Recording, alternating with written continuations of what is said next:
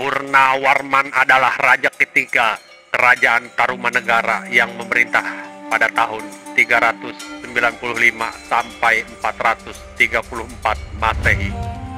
Di bawah kekuasaannya, kerajaan Tarumanegara mencapai puncak kejayaannya. Pada masa pemerintahan Purnawarman, rakyat dipimpin secara bijaksana dan Tarumanegara berhasil menguasai 48 kerajaan daerah.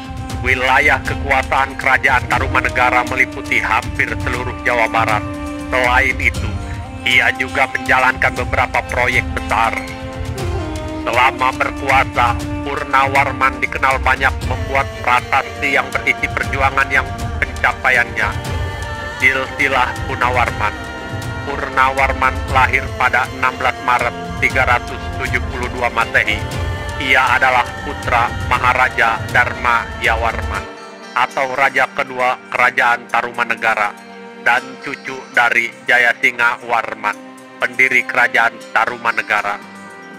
Jayasingha Warman adalah menantu Sang Prabu Dewa Warman, raja terakhir kerajaan Talakarnagara yang beribu kota di Pandeglang saat ini. Dalam bahasa Sansakerta, namanya berarti perisai sempurna. Semua raja Tarumanegara setelahnya menyandang nama Warman, yang mengisyaratkan bahwa mereka termasuk dalam satu dinasti yang sama masa pemerintahan Purnawarman, Purnawarman mulai menjadi raja kerajaan Tarumanegara pada 395 Masehi di usia 23 tahun. Pada tahun 397 Masehi, Purnawarman membangun ibu kota kerajaan yang terletak lebih dekat ke pantai. Kota itu diberi nama Sundapura, cikal bakal kata Sunda. Sekarang Maharaja Purnawarman adalah raja yang gagah berani, bijaksana, dan sangat memperhatikan kehidupan rakyatnya. Di medan perang, ia dikenal sebagai sosok perkasa dan tangkas sehingga oleh lawannya dijuluki Harimau Tarumanegara. Di bawah kekuasaannya, ada 48 kerajaan daerah yang dikuasai Tarumanegara dengan wilayahnya meliputi hampir seluruh Jawa Barat, mulai dari Banten, Jakarta, Bogor, dan Cirebon.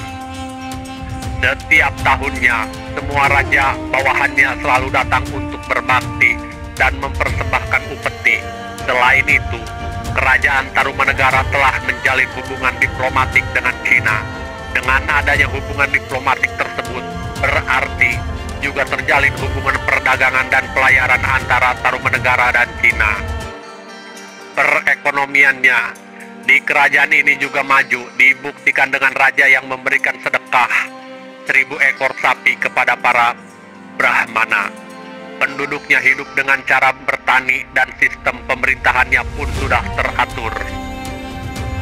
Dari prasasti peninggalan kerajaan Tarumanegara, diketahui bahwa Raja Purnawarman kerap menggerakkan proyek perbaikan irigasi untuk kesejahteraan rakyatnya. Berikut beberapa proyek irigasi yang dilakukan Raja Purnawarman. Perbaikan irigasi Kali Gangga, perbaikan irigasi Kali Cupu, perbaikan irigasi Manukrawa atau Cimanuk, penggalian sungai Gomati sepanjang 12 km, penggalian sungai Citarum. Mega proyek perbaikan irigasi tersebut dilakukan untuk menghindari bencana alam seperti banjir ataupun kekeringan yang pada musim kemarau. Saluran yang dibuatnya bersama masyarakat secara gotong royong pun memberikan dampak besar terhadap ekonomi rakyat Tarumanegara dan kerajaan. Peninggalan Purnawarman, Raja Purnawarman wafat pada 24 November 434 Masehi di usia 62 tahun dan kemudian dimakamkan di tepi Citarum. Di masa hidupnya, Purnawarman dikenal banyak membuat prasasti yang berisi perjuangan dan pencapaiannya. Dari prasasti-prasasti tersebut, kemudian diketahui bahwa Purnawarman mengidentifikasikan dirinya dengan Dewa Wisnu. Berikut ini adalah tujuan prasasti peninggalan Purnawarman. Yang pertama, Prasasti Tugu, Prasasti Citaren, Prasasti Kebon Kopi, Prasasti Jamu, Prasasti Pasir Awi, Prasasti Muara Cianten, Prasasti Sidang Hyang. Itulah kerajaan Tarumanegara. Tetap stay terus di channel Ayah Sigit. Jangan lupa subscribe, like, komen, dan share. Wassalamualaikum warahmatullahi wabarakatuh.